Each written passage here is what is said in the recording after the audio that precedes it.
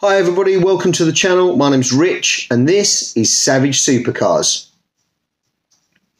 So today's video is all about icons and what kind of cars create that iconic image for you. This is going to be completely subjective. I'm going to talk about a few cars. Hopefully, there'll be lots of interaction with you guys, talking about different cars that have been iconic for you with your childhood, with your car journey. Before we get to that, I would just like to say absolutely devastated with the fact that the Geneva Motor Show has been cancelled this year. As you know, Savage Supercars were going. we were invited uh, by a good friend of ours, Naylor Harrington. Um, we were going to go as part of his company, Protect and Tour, and we were going to meet one of his clients, a global superstar, while out there. Lots of new cars that we wanted to video and get on the channel, and unfortunately, due to the, the problem with the coronavirus potential, the, the show's been cancelled. We will do a separate video showing you the highlights of some of the cars. Obviously, the media event yesterday, there's been a lot of cars coming out. Uh, some stunning cars, stunning facts and figures from Koenigsegg, the new Aston Martin V12 Roadster, etc. Um, but we'll do that on another video. But unfortunately, guys, we won't be going to Geneva next week um, due to what's happened. They've cancelled it to the public. So, uh, a bit of a shame. Let's hope we get out there in 2021. So today's video, Savage Icons. We're talking about iconic cars that have really, really made an effect on you or, or me or whoever on the, on their motoring journey, uh, and cars that have massively increased in value or in popularity. Uh, and we're going to talk about a few of those. So the first car I want to talk about has to be the Ferrari F40. Um, it's been an iconic in its day. It's still massively popular now. Um, values are going up and up and up. Um, it's just a crazy car. So the car was produced between 87 and 1992. Um, we're talking about a 2.9 V8 twin turbo, producing about 478 brake horsepower which for its day was massive. Um, 0 to 60 in about four and a half seconds, but with a top speed of 201 mile an hour. Uh, this was absolutely unbelievable. I mean, the styling, it was completely designed for aerodynamics and racing. It was just a beautiful car. You know, Perspex glass in the back, first car to do that, road production car. Um, now, Ferrari were only going to build 300 but demand was so popular that by the end of production in 1992, they actually produced 1,315 cars. Um, it's just a crazy iconic car. There's lots of car collectors all over the world that have got an F40 in their garage. Other cars moving forward, like the F50, never had the the appeal that the F40 had, even now. Uh, although the F50 is lovely, the F40 was a really special car. Uh, now, when it was new in 87, 88, it was around about the 300 grand mark, uh, dollars, that is. Um, now they're north of 900,000. Uh, some are going to auction. R&B, R&M sold one quite recently at $1.2 million. So there's a massive influx in price um, and a real iconic car. And I think anybody, even if you're not overly into cars, you see an image of an F40 and you know exactly what it is. Staying with Ferrari, um, one car for me uh, growing up was just a huge uh, piece of Americana history through, through movies. Was the Ferrari 250 California? Um, what an absolute stunning car! Obviously made famous by the Ferris Bueller movie, um, and that kind of opened up the eyes to people and realised what this car was. This car was built in 1957 to 1960, and the original cost was twelve thousand dollars. Believe it or not, that's how much it was back in the day.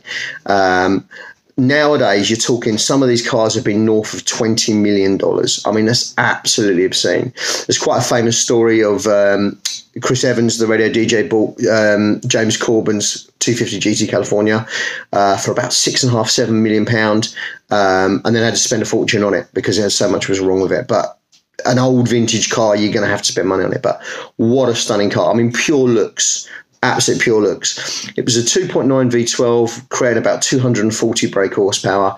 Um, sounded amazing. Looks looks even now looks absolutely amazing. And it produced 108. Um, and records show there's about 33 left in the world. And actually, last year there was a barn find that hadn't been touched for 30 years. Uh, and it had been stripped down, ready to be restored, and then the garage got locked, and, and they found it 30 years later, which must be an amazing find because even in that condition, it'd be reaching probably north of $10 million. So the 250 GT California, what a car. Next, the car that uh, meant everything to me. I was a huge Miami Vice fan, and this kind of took it to the new level. It's the Ferrari Testarossa, um, the original one, 84 to 91. Uh, production car. They did tweak it then. You had the 512 TR and the 512M, uh, but I'm talking about the original Ferrari Testarossa, the, the, the 84 to 91 car, which Don Johnson drove in uh, Miami Vice after his Daytona blew up in the previous series. Uh, the white one, everyone remembers the the sort of linen suits and the white Ferrari Testarossa. It was just such an iconic car. The side cuts into the bodywork, the singular, massive driver's uh, rear view mirror, uh, sorry, uh, um, wing mirror on the arms, just unbelievable. And this car is massively, massively uh, become popular in the last sort of eight years. Um, it's it's gone. It's been averaging an increase in value of about fifteen thousand dollars per year uh, in over the last eight years. It's it's a huge, huge car uh, in value, popularity. At a four point nine flat twelve, given about three hundred and ninety brake horsepower. Um, but it was the looks that made it look so special, and the Ferrari Testarossa even now you see one at auction.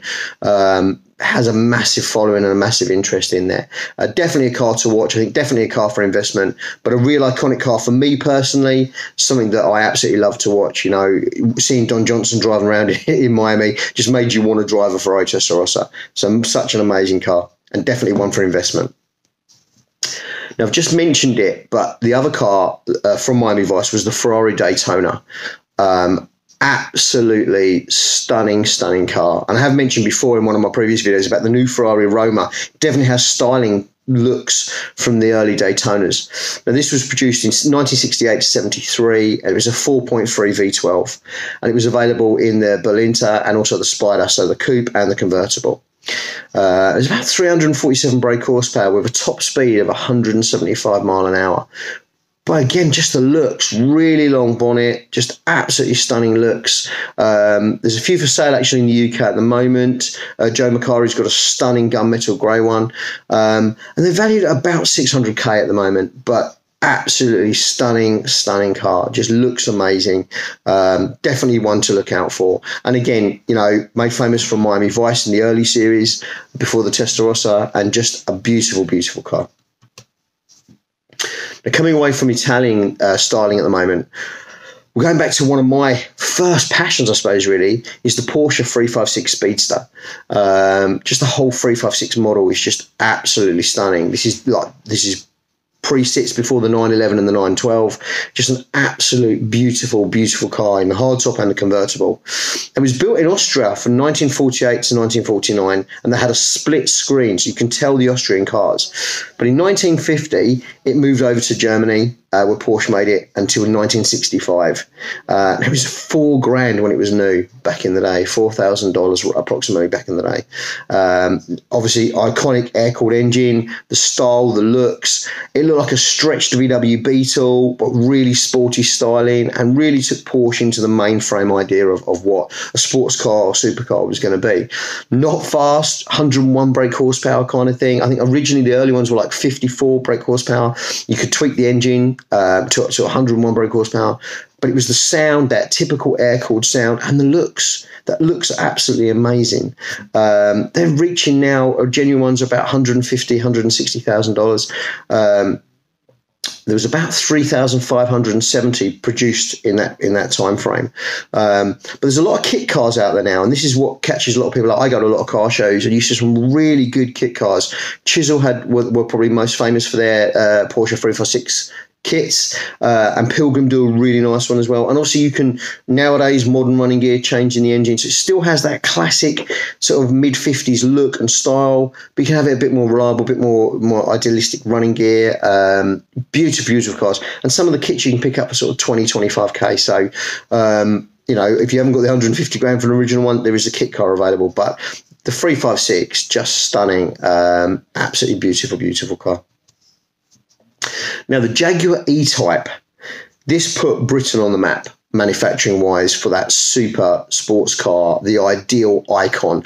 And even now, the E Type has such a massive following. Um, built in 61 to 74. Originally, it had a 3.8, but this was eventually replaced in 1965 uh, with to a 4.2. and it was available in the coupe, the hardtop coupe, or the convertible styling. Um, and it had 150 mile an hour claim top speed. This was the first production car from Britain that had that kind of speed. It was just another level. It was probably twice the speed limit of the average family car that was out at the time. So it was a real iconic thing. Famous, famously known. Loads of celebrities had them. Uh, Enzo Ferrari publicly said it was the prettiest car he's ever seen. So a huge accolade to come from somebody like Enzo Ferrari to say that. Um, now, these cars really, they're the benchmark of the classic car market. So their price fluctuations is crazy. You know, um, I remember in the early 80s, they, they were quite cheap and then they had a massive influx in price. And then we had the crash and they came back down in price again. Um, at the moment, they're selling for sort of between 150 and 250k, depending on spec and, and condition and originality, etc. Um, but they're always going to be a, a real, real iconic British supercar. It's something that everyone loves. I think four years ago, Eagle Industries brought out um, their their version of an E-Type Jag. Um, it's quite famously done on Top Gear by Jeremy Clarkson about the Eagle. Um, stunning, stunning uh, remake of an E-Type Jaguar. It's half a million pound, but beautiful, beautiful car. Um, I've never driven one. I've, I've been a passenger in one, and I've seen many at the shows. Beautiful car, it has a massive following. So definitely, definitely got in, it's worth the title of an icon, the Jaguar E-Type. Now we're talking about a brand that you guys know I love so much. Is the Aston Martin DB5. If you think of a DB5, you think of James Bond 007. You have to. It's the ultimate car, isn't it? You know, um, only 1,050, 1,059 cars ever built in 64 to 65. Um, lots of variants from that onwards, but that was the original, original DB5. Absolutely stunning car. 285 brake horsepower with a top speed of 145 mile an hour. Um, I haven't driven one. I know somebody that has driven one and said it was very challenging. You know, they say never meet your hero. I think it's that kind of car. You know, you, you, we're all used to modern cars now, and it had heavy steering, heavy brakes, notchy gear change, but it's an Aston Martin, it's a DB5. You're going to feel like James Bond when you drive that car. It's just absolutely stunning. Obviously, um, Goldfinger made it famous, and it's been in a lot of subsequent Bond films since then. Um, but it is just an iconic, iconic car. Now, ironically, when it was new, it was about thirteen and a half thousand dollars, uh, and they're now fetching half a million dollars. So he's had a massive following, and I think the limitation as well. There's only a thousand fifty nine cars ever built. Um, stunning, stunning car. Definitely an icon and definitely uh, a beautiful, beautiful Aston Martin as always. The Ford Mustang, the real American icon, started being built in 1964 uh, as a first people car. What people don't know is, maybe a lot of people don't know, is that this was the first public car, the first car that was sold to the masses, where options were available and lots of options. Options, choice of fabric, body style, wheels, colors, everything. Cars didn't come that way before. Before it was like black car, white car, and that's it. Standard specification. The Ford Mustang completely opened up what was available to the people. Now, Ford didn't expect it to be as successful as it was, and it's probably now still probably the most successful production car for its first financial year to give you an idea, I mean, it was being sold the first weekend in America in 1964. It was sold for $2,300, the starting price for a Ford Mustang. And they sold 22,000 cars in its first weekend. Now, remember, we're talking about the early 60s, early to mid 60s. So the first car was called a, a 1964 and a half K car. And it was 22,000 cars sold in its first weekend. They went on and sold 303,000 in its first year that's just an unbelievable record for a car that even now I'd have a 64 Mustang tomorrow.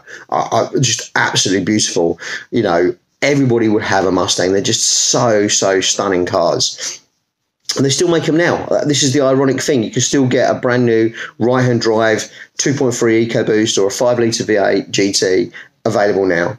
Now, when they first came out, they was available in the coupe, the convertible, and obviously followed up by the fastback. And obviously, the fastback was made famous by the Eleanor car, the GT500, which everyone talks about, which are are massively popular and have a huge following. And value is through the roof now. Um, They're also one of the biggest American cars that can be tweaked and tuned. Um, the things you can do with them now, you can get a 900 brake horsepower Ford Mustang still under Ford warranty from from Clive Sutton. The CS models are just amazing. Um, and even though there's lots of generations of Mustang in between, so the original 60s Mustang, then you had the 70s, the, the Mach ones, and then you had the 80s, and then the early 90s uh, box body ones, which weren't massively popular but still classed as a Mustang. And then in 2015, we have the, the shape that we have now, although it's had a few facelifts, still that iconic shape. And you can see it going back to its original 1960s uh, roots and, and styling. Just absolutely beautiful. I'd love to have a Mustang on the channel. I would love to run uh, a 5 litre V8 GT on the channel for six months. I think it's an absolutely stunning car beautiful looks, um, and and it is a real icon. I know I've said that a lot in this video, guys, but it is. It is. You know, I think everybody would have a Mustang at some point in their car collection. You know, obviously you got the Bullitt model, made famous by the film. They've just relaunched that a couple of years ago, the, the limited edition Bullitt version. There's so many things you can do with the Mustang, and literally January this year they've just brought out their new GT500 version, uh, which is just I think 850 brake horsepower. It's just absolutely stunning production car. So Ford Mustang guys, from classic to, to the new shape, is just stunning. Absolutely stunning. Lamborghini Countach is the next car we're going to talk about. Um, built in 74 to 1990, uh, 1,983 cars built in that in that period. Uh, a few facelift models, a few anniversary special editions as well. Um, it's the first ever production car to have full vertical scissor doors. Yeah, I know the Mercedes Gullwing had the open doors, but this is the first production car to have the full scissor vertical doors, and that made it iconic in itself, didn't it? Um, something people don't realize in the early 80s, the Lamborghini Countach was the most sold poster for the youth of the 80s worldwide. Yeah, it was the most. I had one. I had a Lamborghini Countach poster on my bedroom wall. I remember. Um, it was the most have poster for people. It was just such a, a massive move forward from other car productions in its time. It was it was so far ahead, futuristic styling looks, the massive spoiler. It had the largest rear tyres of any production car. The tyres had to be specially made back in the 80s, uh, which is absolutely amazing. Stunning, stunning car still got a massive following now by Lamborghini uh, followers and, and aficionados. Um, worth about 300k now. Um, so, you know, depending on the model you get, probably the early 74 cars might be slightly more, but a real iconic car. And again, the children of the new generation need to see the Countach in its glory to see what it is. Uh, it's famous for the fact that you can't reverse it while sitting in the car because the rear window is like a post box. You can't see out of it. So you open the scissor doors and you sit on the sill, you lean out the car and reverse it that way. Um, great, great car. Crazy, crazy styling back in the day. But yeah, great, great car. And while we're talking about Lamborghini, the other car we'll talk about, we have to talk about, is the Lamborghini Miura. Just stunning, just absolutely stunning, stunning styling from Lamborghini. Uh, built in 66 to 69, only 764 cars ever made. Uh, now, when it was produced in '66, it was twenty thousand dollars. That was really expensive back in the day. I think I said to you, the, the estimate on DB5 was thirteen thousand dollars. This was twenty thousand dollars back in the day, which was just crazy money, absolutely crazy money. But it's now selling for over a million dollars. So you, you, know, it's it's it's massively increased in value and have a huge popularity. Um, it's 380 brake horsepower, 170 mile an hour top speed from a 4 litre V12. It's the predecessor. Um, it's, it's, the car before the Countach that made everybody, you know, step up and go, wow, okay, Lamborghini are here to stay. They're making some stunning cars. And it was famous for being the Ferrari beater. That's what Lamborghini, so we've produced a car to beat Ferrari. This was their car. This was the car they were going to use. But even if you look at it now, even a car from the 60s, looking at the styling now, it's just beautiful.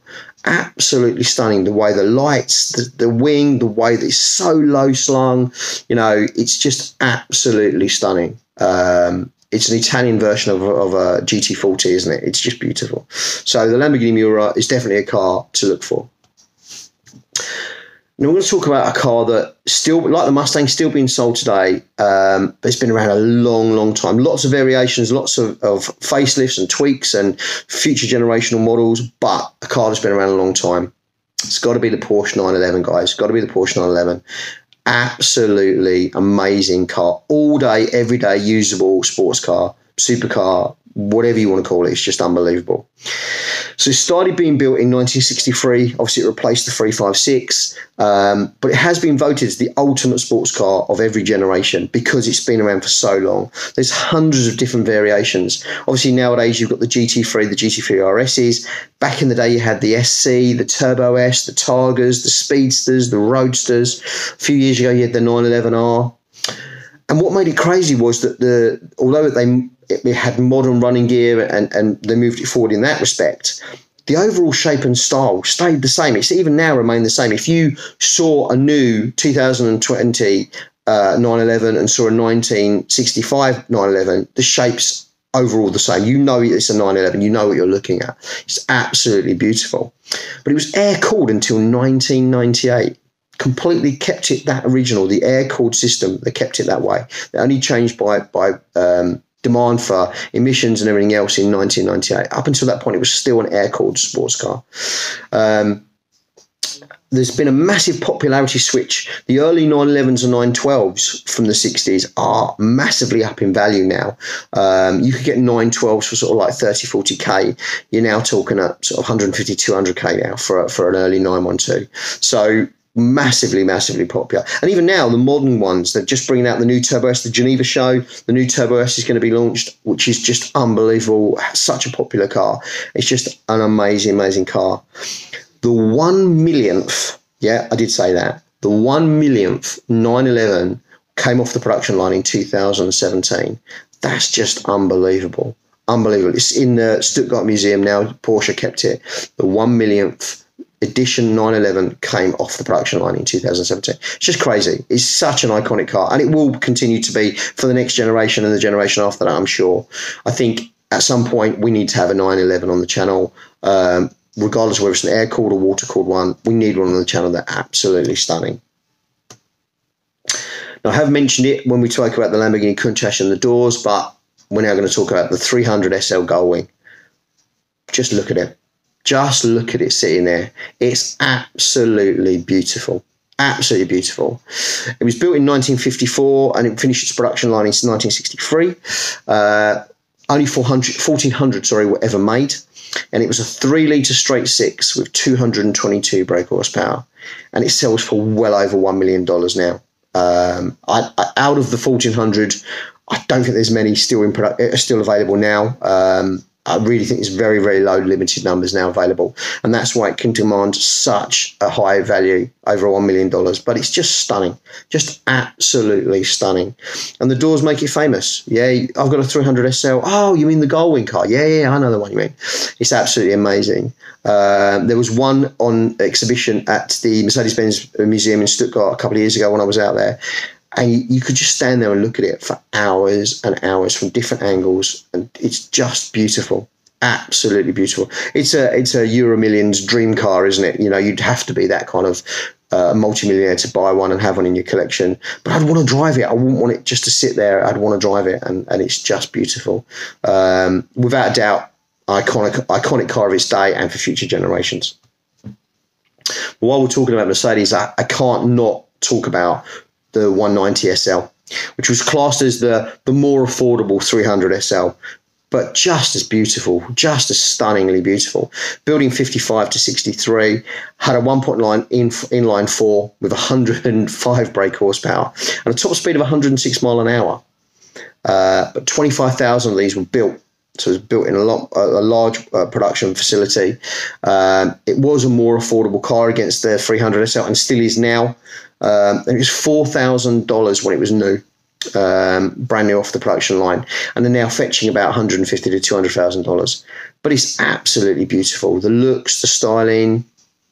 If you could have one of those and it was reliable enough to use every day, I don't think you'd want anything else, would you? It's just absolutely stunning. And while we're on the subject of Mercedes, there's been a massive surge of a modern day car that's an icon. The new old, new, the Mercedes SLS Black Series. It's just absolutely stunning. And this is going to be one of those cars that if you've got hold of one, keep it. Do not get rid of it. Please, please, please keep hold of it. It was only ever 150 ever made. Um, and the Black Series is 622 brake horsepower, which Uh, is quite a bit up. The original SLS had 583 brake horsepower, so it's up on that. It's the looks, it's the styling, it's the rarity of it. It's just in the last few years, it's gone up massively in value, massively in value. You know, you the the, the non S and the non black series, sorry, are about 150k. The black series now are about 750, 800k, and they are very, very rare, and they are only going to keep going up in value. Um, and there's a lot of journalists and car bloggers out there that really would love an SLS Black Series on their channel, and I totally get it. Uh, there's a couple of white ones with the black wheels going about that just look epic, absolutely stunning car. So even though we've been talking about 50s and 60s uh, iconic cars. The SLS Black Series, a modern day car, is hugely, hugely popular, hugely iconic, and will be the next generation of supercar uh, that people will want. And the value is just going to go up. It's just going to go up it, without a shadow of a doubt. Um, so if you have one, keep hold of it. If you haven't got one, but you can get one in your in your in your garage and you have the means, get one and just keep hold of it. Drive it though. Please don't leave it in the garage together. Let's drive it. But it's just stunning absolutely beautiful car. So the SLS Black Series is a future icon without a shadow of a doubt. And while we're talking about more modern cars, you have to mention the McLaren F1, don't you? You can't not. You have to talk about the McLaren F1. Produced in 1992 to 1998, they only made 106 cars. Um, again, the new, we spoke about the Speedtail in previous videos. The new McLaren Speedtail follows suit. It's the three car cockpit layout. So the driver in the center of the car, just like a Formula One car, with two passengers sitting behind him at an angle, at a directional angle, so a three seat configuration. The car had a 240 mile an hour top speed. 240 mile an hour speed in the early 90s. That's just crazy. Just absolutely crazy.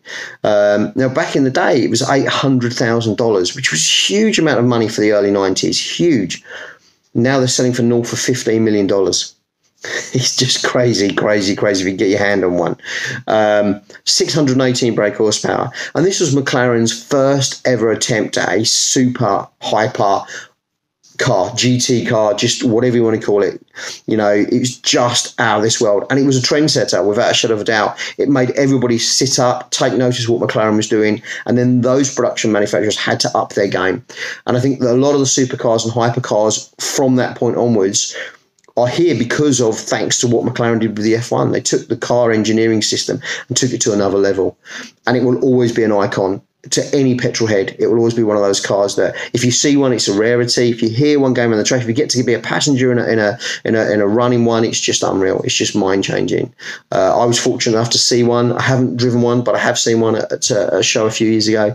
Just absolutely unbelievable. Um, yeah, uh, will forever be an icon. And fifteen million dollars north of uh, uh, being sold at, at auction. Yeah, I couldn't afford one, but absolutely amazing cars.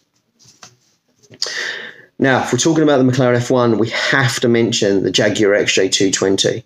And this was a car that was completely surrounded by controversy, wasn't it? You know, Jag's first hypercar, if you like, uh, built in 1992 to 1994, only 271 ever made. Uh, three and a half litre V6 twin turbo, producing 542 brake horsepower, 212 mile an hour. Um, now, ironically, when it first came out, it was two hundred and ninety thousand dollars, but it was index linked, and it was when all the, the, all the issues were happening with the car industry and this and the other. So literally, people were paying their deposits at two hundred and ninety grand, and within two weeks, it had gone up in value to four hundred and ninety thousand uh, dollars, and then people were losing their deposits or pulling out lastminute.com, and then it was it was dropping in value, and then it disappeared off the radar for ages, and then cars were coming out the woodworks. People were finding them in, in warehouses. Uh, people had put them away, hoping that they were going to be massive values. Um, but it still, even now, has a massive following. The looks are completely unique, completely different than anything else that Jag ever made. Um, and the value's now around about half a million dollars. Um, there's a few for sale at the moment around that kind of mark. You know, there wasn't loads of cars out there, but it's definitely, definitely, definitely an iconic car, um, and definitely one that goes alongside the McLaren F1 of that era, that kind of thing. You know. So listen, guys, we've spoke about a lot of iconic cars. There's loads more we can think about. I haven't spoke about the Honda NSX, which changed the, the, the, the, landscape for Japanese supercars. There's lots of cars we could talk about. The Subaru Impreza that changed the whole rallying and in street market and had a whole following in the in the mid 90s. There's lots of cars we can talk about.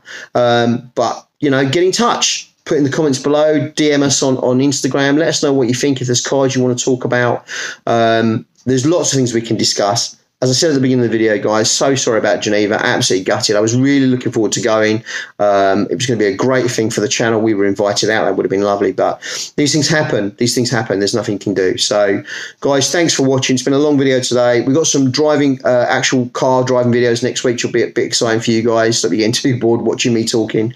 Guys, if you haven't already, please subscribe. It's really important. We're a new channel. We need your help. We need your support. We want to get it out there.